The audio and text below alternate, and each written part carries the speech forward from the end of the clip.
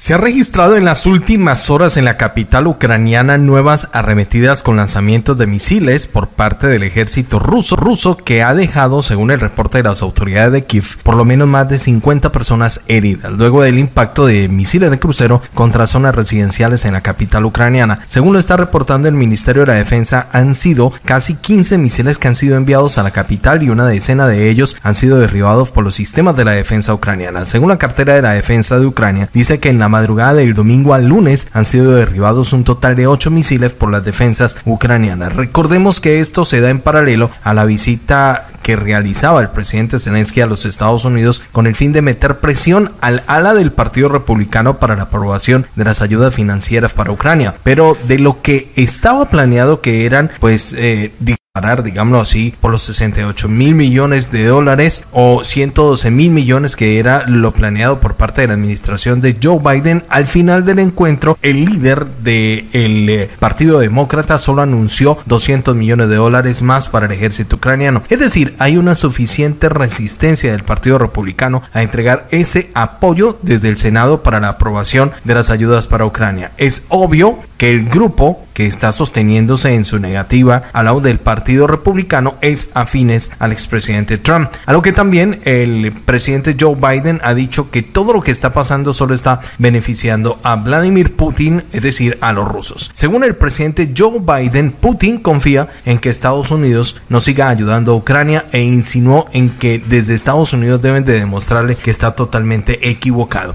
Estas fueron parte de las declaraciones del inquilino de la Casa Blanca en las últimas horas. As I asked last week, and this, it's stunning that we've gotten to this point.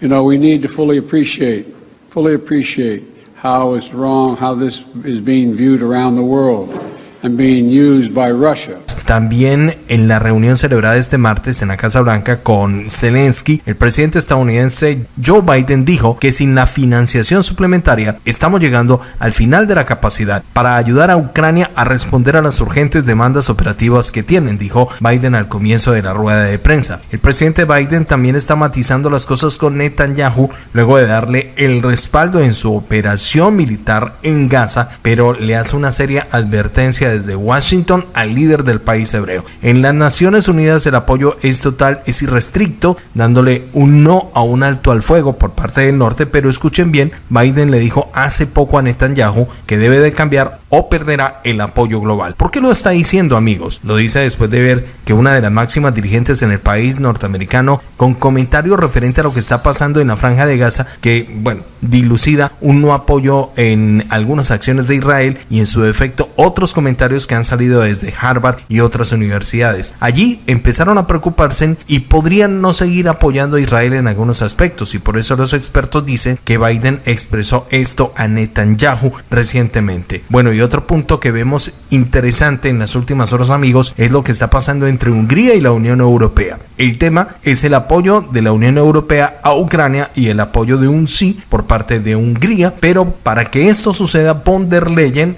mm, conseguir el apoyo por parte de Víctor Orbán no le saldría gratis. Y Víctor Orbán estaría dispuesto a levantar el veto para Ucrania, pero para esto el líder del país húngaro pide lo siguiente, que descongelen el veto de los fondos para Hungría que suma unos 50 mil millones de euros, es decir, la fiesta de un sí de Hungría para la Unión Europea le valdría 80 mil millones de euros eh, para la Unión Europea y así levantar el veto. Si no pasa esto, no habrá un sí para el apoyo de la Unión Europea hacia Ucrania. Eso sí, Hungría ha ratificado que no apoya la entrada de Ucrania a la Unión Europea. A propósito de von der Leyen, en la última hora se conoce que la presidenta de la Comisión Europea, Ursula von der Leyen, finalizó este miércoles su discurso en el Parlamento Europeo entre ladridos perros tras su final frase Viva Europa. Se pudo escuchar un sonido inesperado que causó sorpresa y risas entre los diputados. Momentos después, la presidenta del Parlamento Europeo, Roberta Metzola, dijo que podría tratarse de un perrito de algún asistente o perteneciente a alguna persona